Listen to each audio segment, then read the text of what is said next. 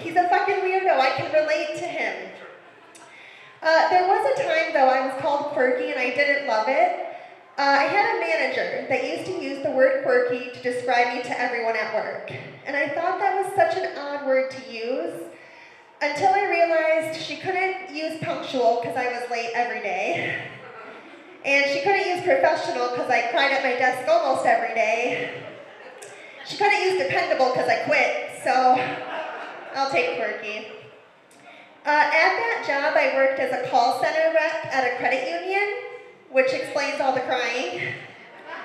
It was a hard job because people would tell me to fuck off when I gave them their account balance. I wasn't part of your $400 OnlyFans issue. I don't know. Uh, but if they weren't just telling me to fuck off, they were saying whatever thought came to their mind. Uh, during my time there, I had a few people, men, old men, horny old men, tell me that I had the perfect voice to work as a phone sex operator. Now, I don't know what made them say that. My phone would ring and I answer and I say, Thank you for calling the credit union. This is Heather. Who do I have the pleasure of speaking with today? Apparently, they heard, Hi. This is Heather. How can I pleasure you today? But I could never actually work as a phone sex operator because I can't talk sexy. I actually can't be sexy. I've tried. A few years ago, I tried to surprise my husband by being sexy. I put on the music, I put on the lingerie, I put on the strap on. I did everything that I could have done for him, right? He was surprised. And he loved it. He picked me up and threw me on the bed, right where I had set my glasses. So all that work, we didn't even have sex because it was 4 o'clock on a Friday and I needed to call my eye doctor before they closed. Which explains why I keep my glasses on during sex now. I know that they're safe. Uh, little side note about that story. The first time I told that story on a stage was in front of my parents and my in-laws. yeah, it was a little awkward. Uh, not nearly as awkward as my parents asking you what a strap-on is. cool. Uh, you know, but overall, I don't feel too weird talking about sex in front of my family. My husband and I do have a baby, so everyone knows we've had sex once. Well, they know I've had sex. I was the one that was pregnant. There's not really any proof my husband was part of it. Except my son does look exactly like my husband or his brother. Uh, when we were trying to get pregnant, me and my husband, I didn't try with his brother, that was an accident. I was trying with my husband. Uh, when we were trying, we didn't tell anyone. I think that's a weird brag. Like, hey, guess how much unprotected sex we're having? We're doing it everywhere. The couch, the chair, the floor, the bed, the butt. Which does explain why it took us so long to get pregnant. But we finally got pregnant, and everyone was so happy for us. And I was happy for the first two months, because that's when the morning sickness started. And afternoon sickness and evening, really, I was just throwing up all the time. As an added bonus, every time I threw up, I peed my pants. Uh, so after a couple of times of flooding my bathroom in pee, I switched to adult diapers. Brian could have used that coupon a little while ago. Um, so remember when I told you I can't be sexy? The adult diapers really added to that. Yeah, so my pregnancy was great. I had this beautiful pregnancy glow that was just toilet water backsplash. And this great pregnancy waddle that was just me walking in my pee-filled diaper. Really a magical time. Uh, after that, my husband and I decided no more kids. So he scheduled a vasectomy. And actually, yesterday was his one-year anniversary of the vasectomy. Normally, it's not something I would pay atten attention to, but the fact that his appointment to stop spreading his seed was done on Earth Day, I remember it. Yesterday was Earth Day, you guys. Yeah. So leading up to his appointment, I tried to be the best wife. I said, honey, are you nervous? Is there anything that I can do to help you through this difficult time? And my friend overheard me and she said, Heather, do you remember like a year and a half ago when you were sliced in half like a magician's assistant to bring that baby into the world? They can take the scissors to his balls and he will be fine. You guys, I'm here to tell you, he made it through. He's fine. He's at home shooting blanks right now. Everything's okay.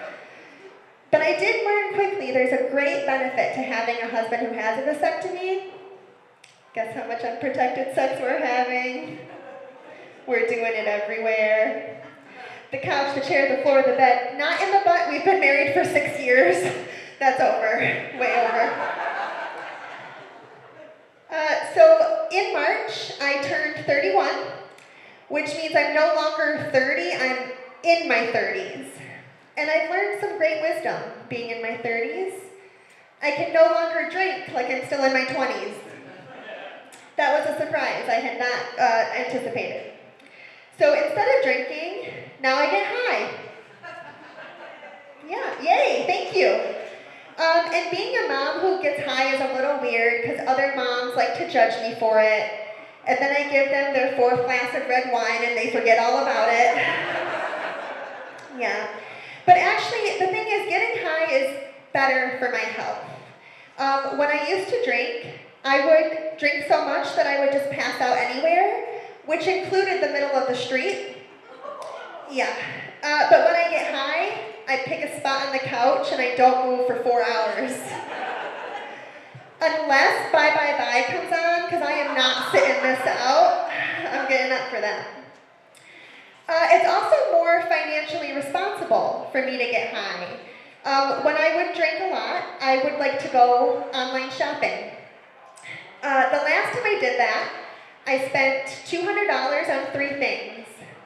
I bought a board game that four years later has still only been played once. I bought a dog Christmas collar in July, and I have cats, so I gave that away. And then I bought a $150 vibrator. Yeah, now that I did keep for myself, and it's definitely been played with more than once, so at least I got my money's worth out of that.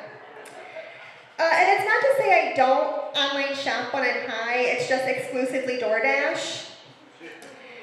Like, I can get delivered right to my door Slurpees, Frosties, Taco Bell. Now, by the time I get it off my porch, the drinks are melted and the food is cold because they rang the doorbell an hour ago and I forgot. uh, but it's still there. It's still there. And listen, the whole point of this is to tell you that getting high is better than drinking. And I know it might sound crazy, but it ain't no lie. bye, bye, bye. Heather Mangello, thank you guys so much.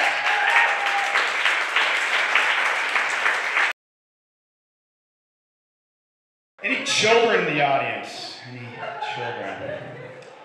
All right, you're probably home playing video games. These kids these days, man, everybody's, you know, they talk trash about kids in video games these days, but when I was a kid, there was a game called Leisure Suit Larry. Anybody know that game? Yeah, Leisure Suit Larry and the Land of the Lounge Lizards came out in 1987. I think like that and Oregon Trail were the two top games back then. That's right. Leisure Suit Larry was a game that you were a guy named Larry and you'd hang out at a bar And the goal of the game was to pick up and consequently bang a hooker in the back room of that bar. That's how you won. Yeah, very similar to Oregon Trail, but instead of getting dysentery, uh, you would get syphilis. That was the difference with that game. So anyway, that game, uh, since I was playing that at eight years old, I'm not going to give kids a hard time these days. And actually, in fact, that game, that game, my life would be different. I wouldn't have kids right now because that game gave me the experience I needed to meet my ex-wife. That's exactly how that happened. Uh, watching the news, um, I saw that NASA announced that they're looking for people with uh, disabilities to travel to space. They say, like, you know, people with like immunities to motion sickness or certain movement disabilities can be an advantage in space. I think that's amazing. Uh, great for NASA and great for those people. Uh, they wanted to announce that they're uh, looking for people of short stature. You know, they take up less room in the spacecraft probably eat less food. That's right, ladies and gentlemen, midgets in space. I never thought I would live to see the day. That's one small step for man, and one even smaller step for mankind. It is. Also on the news, cryptocurrency. Everybody's losing their ass on cryptocurrency.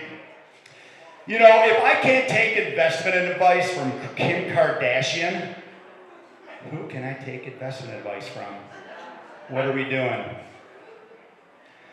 I don't invest in cryptocurrency, never did. You see, my investment philosophy is I don't invest my time, energy, or money into things I don't understand which is probably the reason I'm divorced.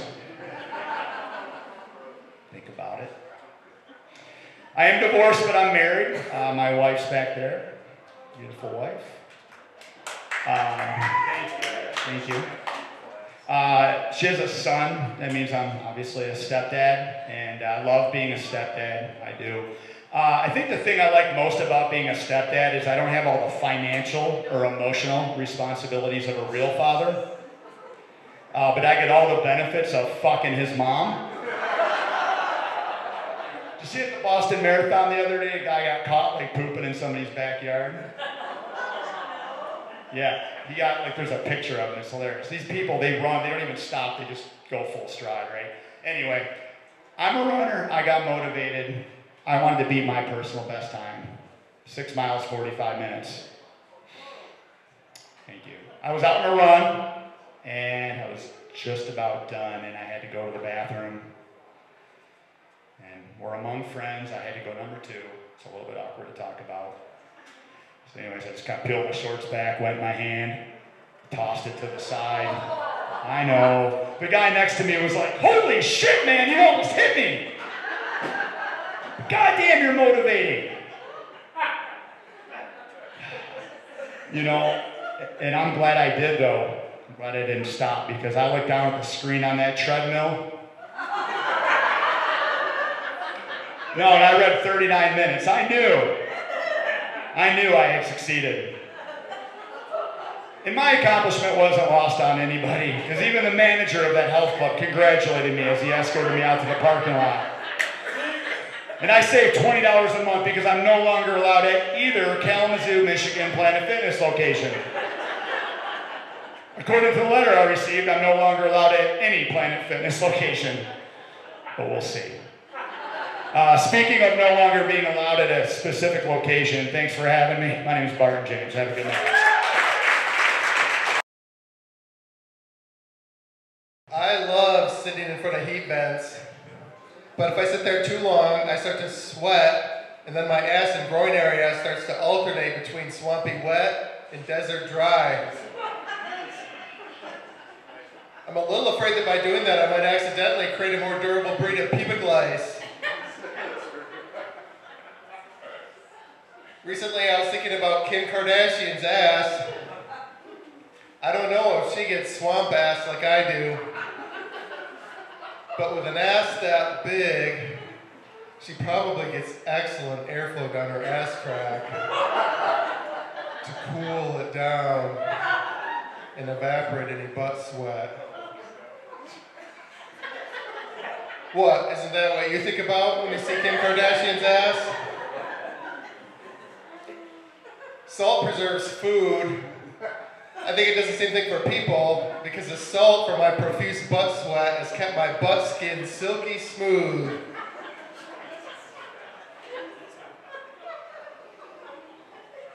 My butt sweats when I'm nervous and I'm terrified of heights. So if I ever rode a ski lift in the summer, the ski lift seat would turn into a butt sweat water slide of death.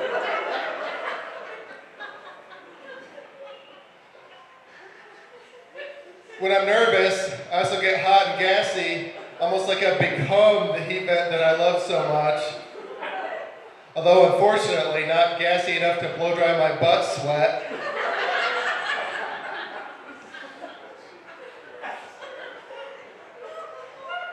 I also sometimes have to take nervous shits, which I like to call stress pebbles. I actually had to drop some stress pebbles a few minutes ago because I'm nervous about this bit about stress pebbles. My bowels are like so meta. In high school, some bullies threw toilet paper at me and called me gay slurs because they caught me laying down some stress pebbles in the bathroom at school. I guess they thought my stress pebbles were fruity pebbles. They eventually stopped bullying me because the lead bully died in a car accident. He threw toilet paper at me and tried to hit me like I was uh, a dartboard. So his karma was that a car hit him like he was a pinata. His toilet paper with skid marks collided with me, so his karma was that a car left skid marks and collided with him. He threw things at me and treated me like I was the trash, so his karma was that a car treated him with a crash. I just rhymed. I'm like Dr. Seuss if he endured abuse for dropping a deuce. If I'm at work and I have to fart, I peel an orange to cover the smell. That also deters my coworkers from wanting to steal my oranges. The janitors on every floor of the office building where I work clean the men's rooms at exactly 6 p.m., presumably in a coordinated and passive aggressive attempt to get me to shit my pants in my car when I'm stuck in traffic on the way home. Walking to the bathroom makes me not have to go anymore. Walking back to my cubicle makes me have to go again. Too bad I don't have my own office with a waterproof trash can, which would be an excellent way to get revenge on those passive aggressive janitors. That joke will probably prevent me from ever getting my own office. I think public restrooms should have vending machines with softer, more comfortable toilet paper in them. In order to keep people from getting pissed off and vandalizing them, they should donate some of the proceeds to charity in a campaign that I'd call Shit for Brains.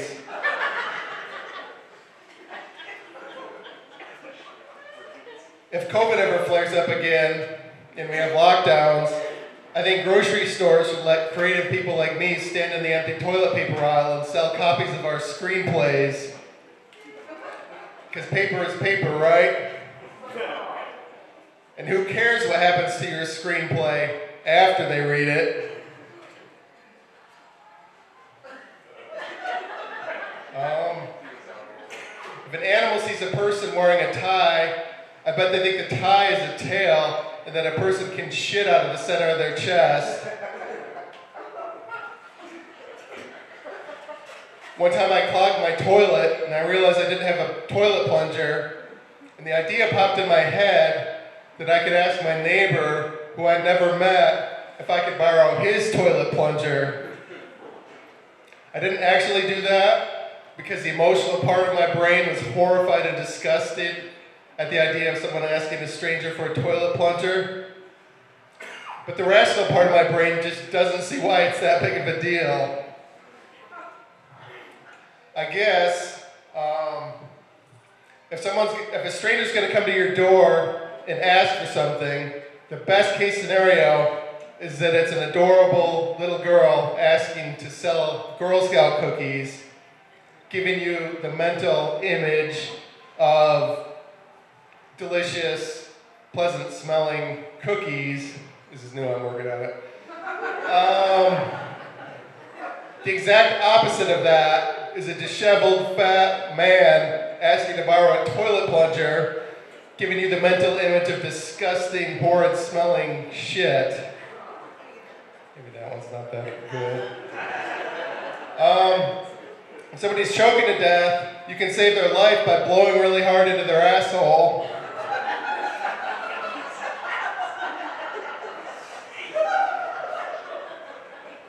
Or at least make the last stop before they die one of confusion rather than terror.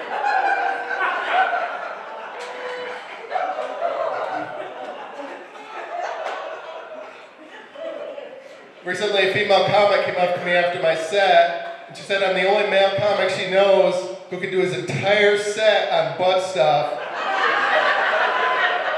and not make it sexual. I took that as a compliment, like my childish gross out jokes had somehow become progressive. So not only my bowels like so meta, they're also woke. And unfortunately, they're waking up right now. So I gotta go. Not really though. Yeah, I didn't get the light, I don't think. Um, if you don't want your daughter to do porn, tattoo her anus brown so she can't bleach it.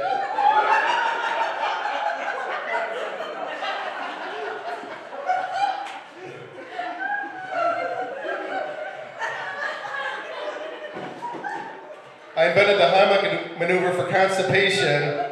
At least that's what I tell the people I want to shit on.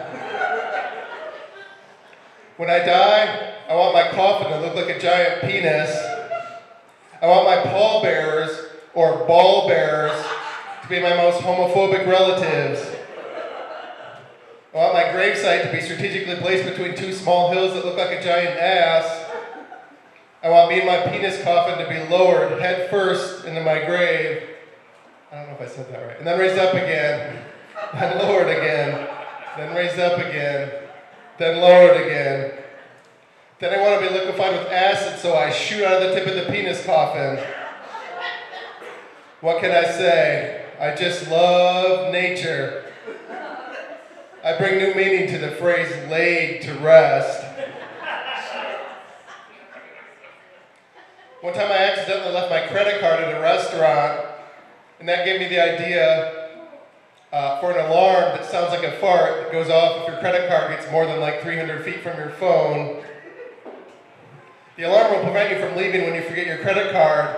The fact that it sounds like a fart will provide a threat of public humiliation to make you more vigilant to prevent you from forgetting the credit card in the first place. I don't think I have any more shit jokes. Um, maybe I'll end on that. My name's Tom Wilma. Thank you very much.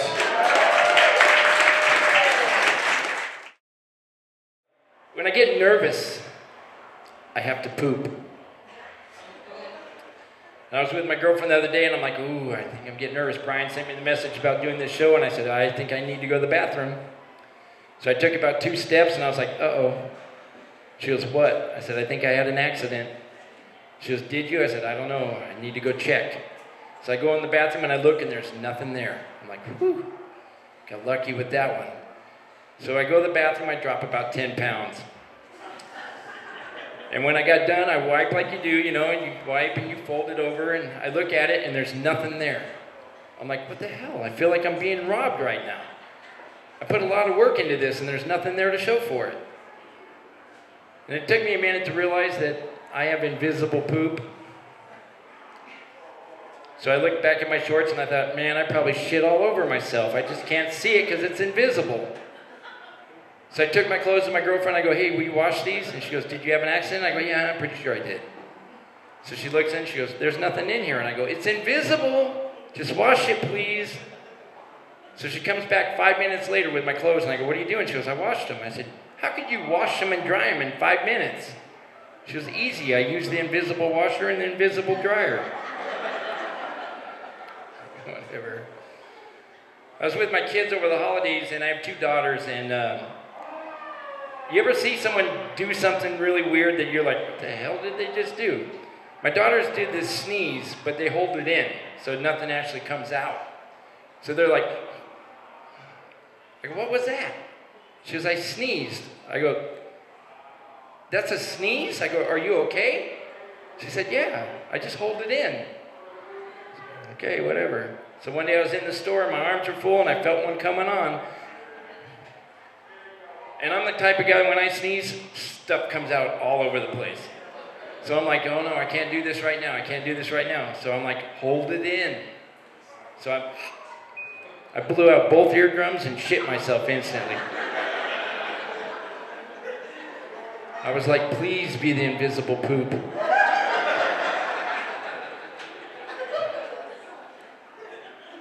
Who's married here? Anybody married? One person to yourself.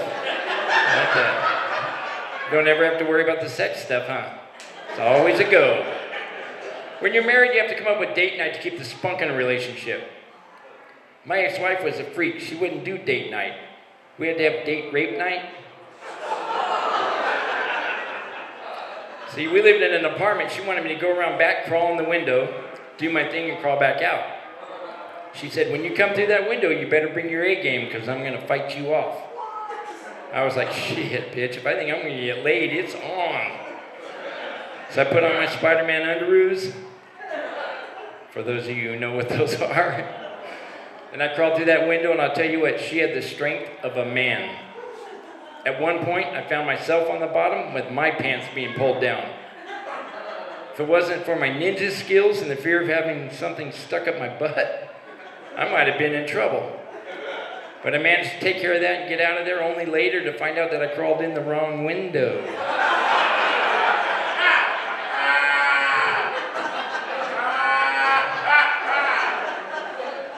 Somebody knows where that window is.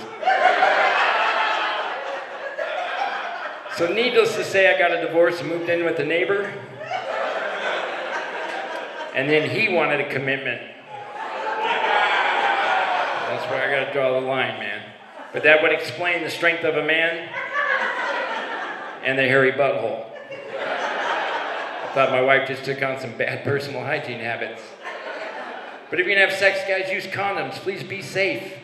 I stopped one night and bought a box of condoms on my way to visit a girl, and the clerk asked me, Need a bag to go with that? I said, No, man, she ain't that fucking ugly.